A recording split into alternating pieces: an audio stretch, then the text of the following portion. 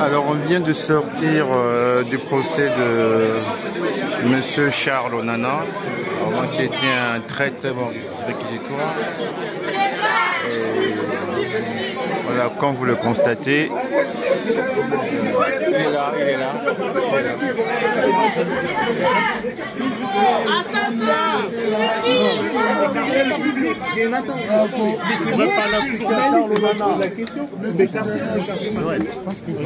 Monsieur Charles Onana, après tout ce moment, ce que vous avez vécu, euh, les accusations, la défense et aussi votre argumentaire, quelles sont vos impressions? Ben, écoutez, euh, je pense que la première chose que je veux dire, c'est un, un énorme merci. Quoi. Parce que je pense que les Congolais et beaucoup de Rwandais m'ont apporté un, un soutien important pendant cette période qui n'était pas une période facile parce que euh, une grande partie euh, des médias euh, soumis au FPR, à Paul Kagame, euh, m'a traité quasiment de négationniste avant même que je ne sois jugé. C'est-à-dire que la notion de la présomption d'innocence est complètement ignorée ici euh, parce que euh, c'est la voix de Paul Kagame qui est importante. C'est-à-dire qu'en fait, on se retrouve en France dans une situation où c'est un dictateur africain qui est au pouvoir depuis 30 ans et qui a mis le Rwanda et la République démocratique du Congo en coupe réglée, qui vient faire la loi et qui impose aujourd'hui sa loi à la France.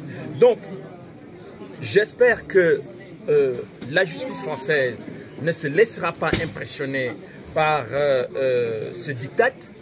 Je sais que Kagame avait demandé la tête du procureur Carla Del Ponte au tribunal pénal international. Il l'a eu. Il a demandé à obtenir la destruction de l'enquête du juge Bruguière. Il l'a eu. Et aujourd'hui, il demande la tête de Charles Nana. J'espère qu'il ne l'aura pas.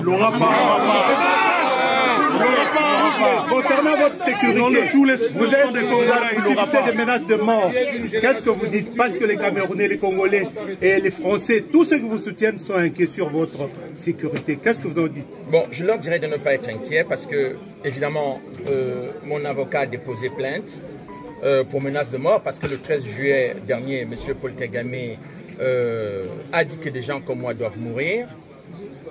Euh, nous prenons ces menaces au sérieux, mais vous n'avez pas à vous inquiéter pour moi parce que, en fait, M. Kagame a des millions de morts sur les bras. Il s'en moque éperdument. La seule chose que je veux dire au peuple congolais aujourd'hui, ne vous laissez pas impressionner par la communauté internationale. Ne vous laissez pas intimider par l'attitude et des médias qui soutiennent Paul Kagame et de l'attitude de Paul Kagame lui-même.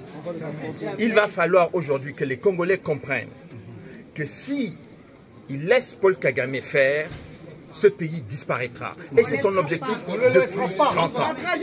Et donc, l'objectif aujourd'hui, c'est au-delà de ma petite personne, j'ai entendu ici au tribunal que mon procès, mon procès, le résultat de mon procès aura des conséquences judiciaires et politiques. Ça signifie donc que mon- le, le- le- le procès qui est intenté contre moi est un procès politique. Donc, il est important que les, les- les Congolais reçoivent ce message que je vous donne aujourd'hui. C'est-à-dire que ce que j'ai révélé dans ce livre concernant euh, l'organisation euh, dès 1994 de l'invasion du Congo pour le pillage de ses ressources minières, c'est exactement cette politique qui est en marche et M. Charles Nana est venu perturber cette situation et il faut, euh, il faut le tuer. Et donc, ils veulent me tuer judiciairement et me tuer euh, physiquement. Donc, c'est à cela que j'attire l'attention des, des- des Congolais et des hautes autorités congolaises, notamment le président de la République de la RDC. Il faut qu'ils sachent qu'ils ont utilisé la même méthode pour éliminer le président Abiyarimana. Ils ont pris le temps, ils ont passé le temps à dire qu'il faut négocier, il faut discuter, mais si les autorités congolaises et tous les conseillers euh, euh, du Congo ne prennent pas conscience qu'il n'y a pas que le Congo qui est en danger, mais que même les institutions de ce pays sont en danger. Donc, je tenais à faire passer ce message-là, parce que quand on dit que euh, le résultat de mon procès aura des conséquences politiques, il faut qu'on comprenne de quoi il s'agit. Monsieur Charles, Non, monsieur, le monsieur Congo, Charles, non, non, le je suis, monsieur Charles, Non, je suis un Congolais. Quel message?